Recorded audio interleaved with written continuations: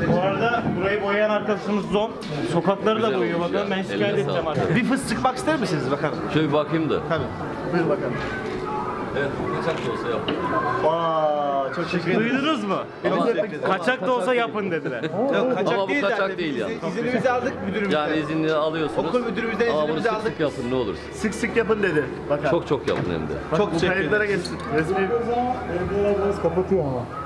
Sen belediyelere git benim selamımı söyle. Biraz ver.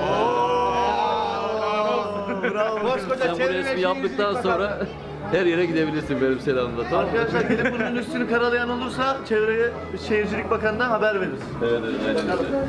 Bakın şimdi ben bolca gençler eskiden nikah kıyıyordum belediye başkanı iken. Evlenenlere diyordum ki mesela eşlerine daha çok gençlere, delikanlılara çiçek götürün. Giderken hiç değilse bir çiçekle giderseniz yüzünüz olur, muhabbet olur.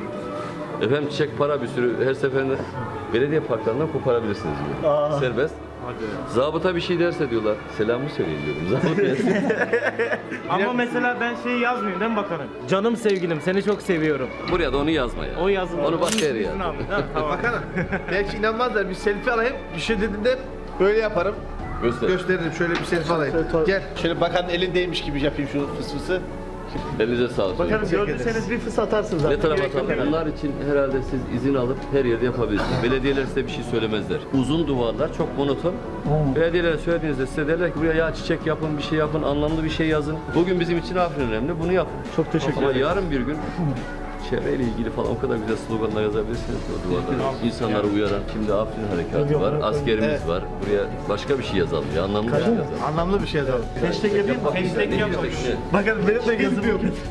Ha sen yapmasaydın. Bu hashtag O Hashtag mi? Evet. Hashtag olur. Yani Twitter'da bir var ya. etiket gibi. Aferin. Biraz daha yakın sıkabilirsin. Aa bravo. İmza gibi yazdım ondan. Biraz daha gelelim böyle.